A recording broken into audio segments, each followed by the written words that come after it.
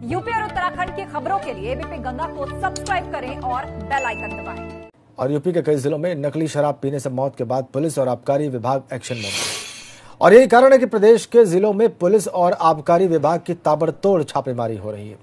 आज भी प्रदेश के कई जिलों में पुलिस और आबकारी विभाग की टीमों ने नकली और अवैध शराब के खिलाफ कार्रवाई की। गोरखपुर में किराने की दुकान में नकली शराब के गोरख धंधे का पर्दाफाश हुआ। वहीं प्रतापगढ़ में 12 लाख की अवैध शराब बरामद की गई। लखीमपुर खीरी में 2105 लीटर अवैध शराब के साथ 115 आरोपियों को गिरफ़्तार किया गया है। तीन तस्वीरें गोरखपुर, प्रतापगढ़ और लखीमपुर खीरी की। और अब खबर गोरखपुर से है। यहाँ पर नकली शराब के गोरख धंधे का पर्दाफाश हुआ है। मामला तिवारीपुर थाना क्षेत्र के नरसिंहपुर का है। यहाँ पर आबकारी विभाग ने एक किराने की दुकान में छापेमारी कर 8000 देसी, साढ़े तीन विदेशी शराब की बोतलें बरामद की आरोपी किराने की दुकान और मकान की आड़ में अवैध शराब बेच रहा था।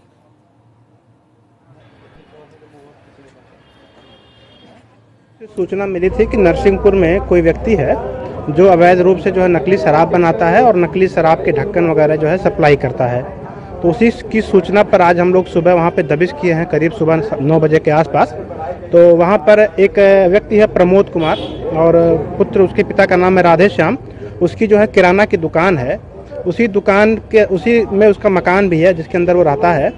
तो वहाँ पे हम लोग दबिश किए तो उसके घर से करीब जो है हम लोग को आठ हज़ार देसी शराब के ढक्कन, करीब साढ़े तीन सौ जो है विदेशी शराब के ढक्कन, जिसमें इम्पीरियल ब्रू ब्रांड के मैकडबल ब्रांड के और जो है आर एस ब्रांड के ढक्कन मिले हैं।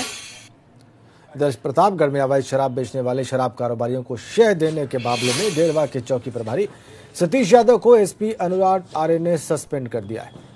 इसके अलावा दो शराब तस्करों को भी गिरफ़्तार कर लिया गया रविवार को जेठवारा इलाके में स्वाट टीम ने छापेमारी के दौरान 12 लाख की शराब बरामद की थी।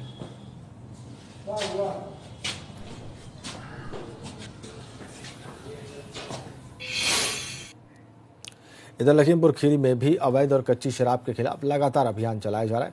पुलिस और आबकारी की टीम लगातार छापेमारी कर रही है। अलग अलग थानों से कच्ची शराब पर कार्रवाई कर 115 अभियुक्तों को गिरफ़्तार कर लिया गया है।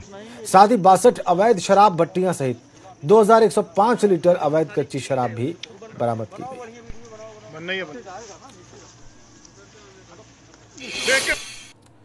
और प्रदेश में बेटियों से हैवानियत कम होने का नाम नहीं ले रही है। ताज़ा मामला बुलंदशहर का है, वहाँ पर पासू थाना क्षेत्र के कुछ युवकों पर आरोप है कि उन्होंने नहाते वक्त एक लड़की का वीडियो बना लिया।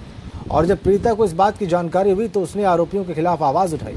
आरोपी ने वीडियो वायरल करने की धमकी दी और इस दौरान एक आरोपी पीड़िता के साथ रेप करता रहा। जब पीड़िता के परिजन आरोपी के घर पहुँचे तो उसने न सिर्फ़ वीडियो डिलीट करने से मना कर दिया, बल्कि लड़की के परिजनों से मारपीट भी की। फ़िलहाल पुलिस ने सभी पाँचों आरोपियों को हिरासत में ले लिया है। महिला द्वारा शिकायत की गई कि उसकी नाबालिग बेटी का कुछ लोगों द्वारा आपत्तिजनक वीडियो क्लिप बनाया गया था और उसके द्वारा उनके द्वारा उस बच्ची का शारीरिक शोषण किया जा रहा था। जब उस महिला ने विरोध किया, उन लोगों ने उसके साथ मारपीट की। इस शिकायत के क्रम में थाने पर अभियोग पंजीकृत किया गया और विवेचनात्मक कार्रवाई करते हुए थाने की पुलिस द्वारा सभी आरोपियों को अपनी हिरासत में ले लिया।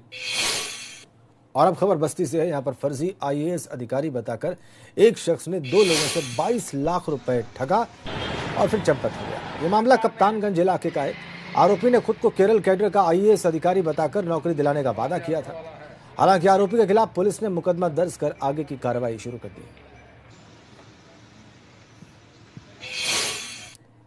और मुरादाबाद के कटगर थाना इलाके में 11 नवंबर को हुई एक युवती की हत्या के मामले का खुलासा हो गया। पुलिस ने युवती के प्रेमी को गिरफ़्तार कर लिया है। आरोपी का कहना है कि वो उससे प्यार करता था, लेकिन वो किसी और से प्यार करने लगी और इससे खफा होकर उसने उसे मौत के घाट उतार दिया। हालाँकि पुलिस ने आरोपी को गिरफ़्तार कर मामले की तफ्तीश शुरू कर दी